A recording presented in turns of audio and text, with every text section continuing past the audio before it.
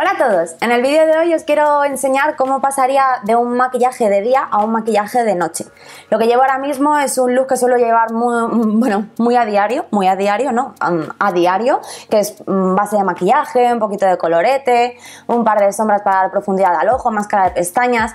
Es algo con lo que podemos ir a trabajar, por ejemplo, o pasar el día, pero luego llega la noche y a veces no te apetece desmaquillarte entera para volverte a maquillar. Entonces, sobre lo que ya tenemos, os voy a contar cuáles serían los pasos que yo haría para transformar un maquillaje de día en un maquillaje de noche y espero que os guste. Bueno, yo realmente en lo que es mi, realidad de ahora mismo no llevo maquillada todo el día, sino que me he maquillado hace un rato, entonces tampoco necesito retocar bien la base y demás. Pero el consejo que os doy es que sobre lo que tengáis eh, paséis primero una brocha limpia para quitar todo el exceso que podáis tener de polvo, de, bueno, de lo que todo el día. También que uséis papelitos matificantes para retirar todo el exceso de, grasa del rostro, tanto de grasa como de base de maquillaje que haya podido estar expulsando la piel a lo largo del día. Y después sí, podéis coger la base de maquillaje con una brochita a mí sabéis que me gusta mucho esta, por ejemplo, de, de, Bobby Brown y que a pequeños toques os vayáis dando donde más necesitéis. Yo voy a dar un poquito la zona de las mejillas, que esta zona la tengo como más desnuda, no sé cómo decirlo. Aplico con los dedos primero por donde yo veo que necesito más cobertura. A lo largo del día seguramente pues eh, la nariz, que siempre estamos tocándonos la nariz, la barbilla, son las zonas un poco más afectadas y también, bueno, en mi caso las mejillas porque es donde tengo el poro más dilatado y donde más se expulsa la base a lo largo del día. Y esto ya os digo que donde veáis vosotros que tenéis más, más necesidad de volver a aplicar la base después de todo el día. La barbilla también, alrededor de los labios, Volveré a aplicar un poco de corrector en la zona de la ojera porque también se va desgastando bastante a lo largo del día.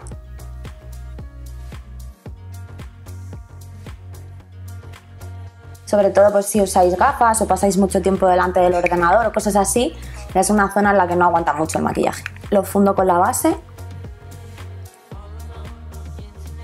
y matizo con polvo suelto.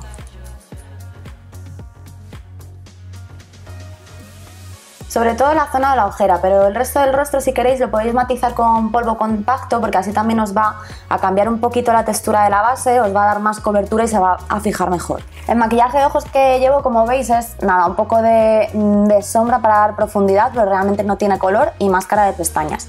Así que lo que voy a hacer es sobre lo que ya llevo, lo que, lo que, lo que, sobre lo que ya llevo voy a marcar todavía más el ojo y modificar un poco los tonos.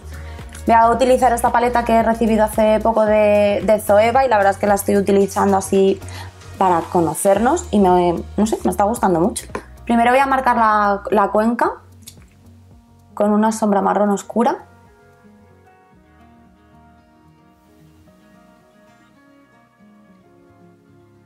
La integro con una sombra un poquito más clara, color piel, un poquito más subida de color piel.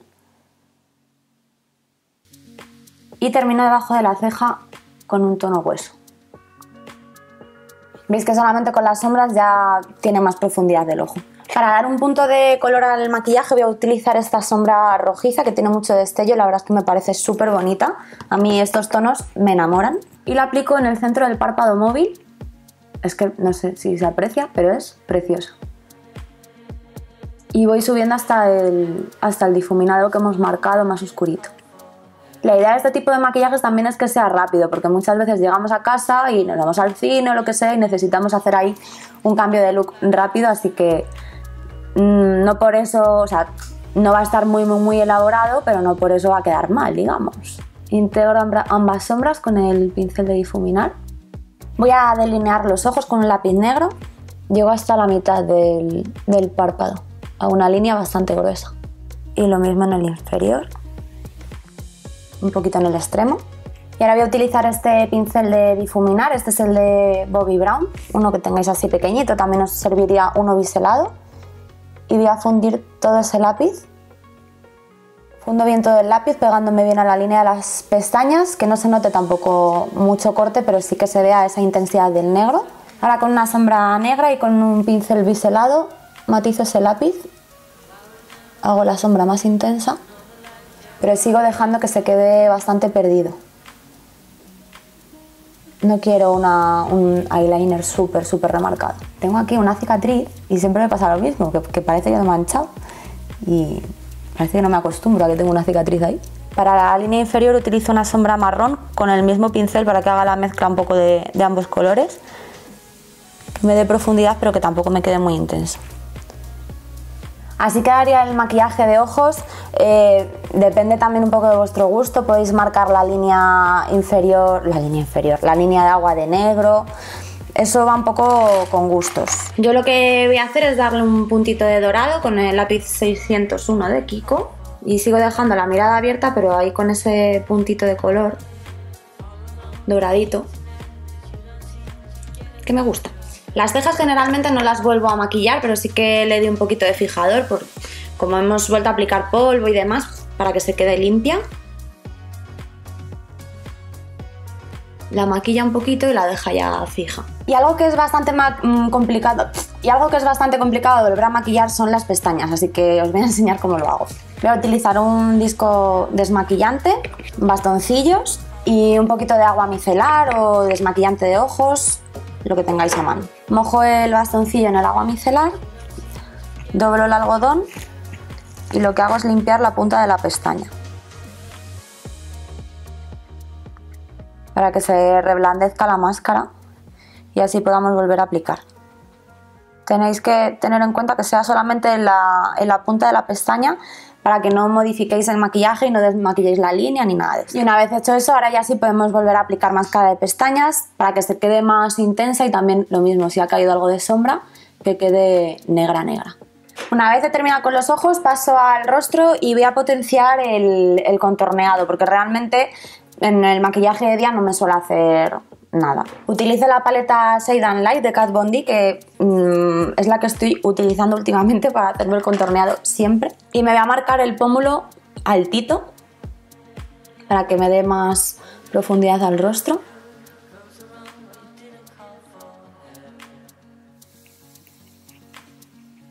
Marco un poquito los laterales de la nariz, pero con muy poquito producto. La zona de la sien nacimiento del pelo y con el tono claro marco justo por encima para marcar bien esa diferencia.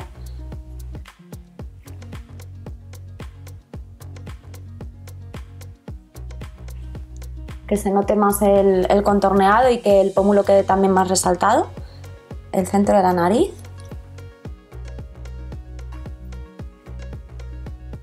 Y la barbilla. Utilizo el mismo colorete que, llevaba puesto antes. Lo aplico muy poca cantidad porque este pigmenta mucho, que también es de la paleta de Zoeva, y a toquecitos.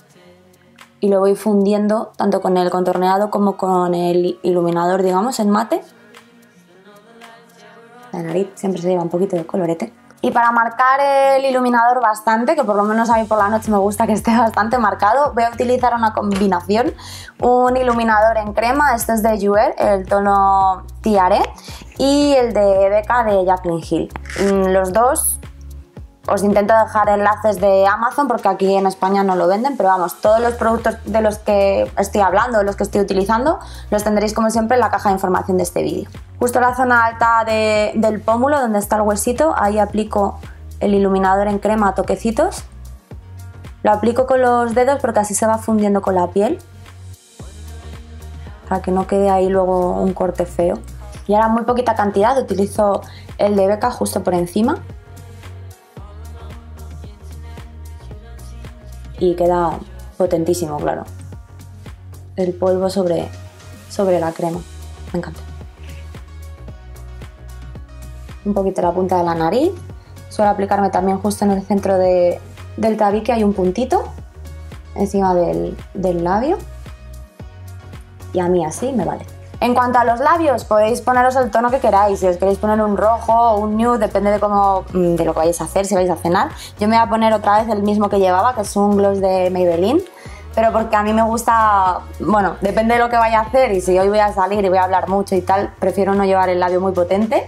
Y también porque últimamente he llevado tanto granate cuando he salido que luego me veo las fotos y digo, siempre igual, así que hoy lo voy a llevar más clarito. Bueno, pues así quedaría. Este sería un maquillaje de noche que podría ser mucho más intenso, pero bueno, quería que veáis un poco el paso a paso de, de los pasos que doy para pasar de un maquillaje a otro. Y nada más, espero que os haya gustado y nos vemos en el próximo vídeo. ¡Chao!